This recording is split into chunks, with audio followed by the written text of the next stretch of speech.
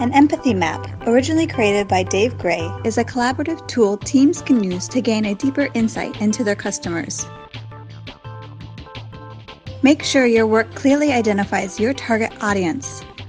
In this process, make certain you haven't considered the consumer's environment, influencers, fears, goals, and potential challenges.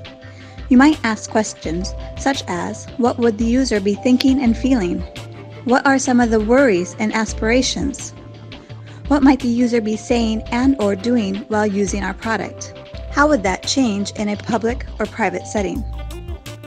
What would their friends, colleagues, and boss be likely to say while the user is using our product? What would the user hear in these scenarios? What would the user see while using our product in their environment? What are some of the user's pain points or fears when using our product? What gains might the user experience when using our product? For more information on empathy mapping and our Master in Business Innovation, check our website or contact us on social media.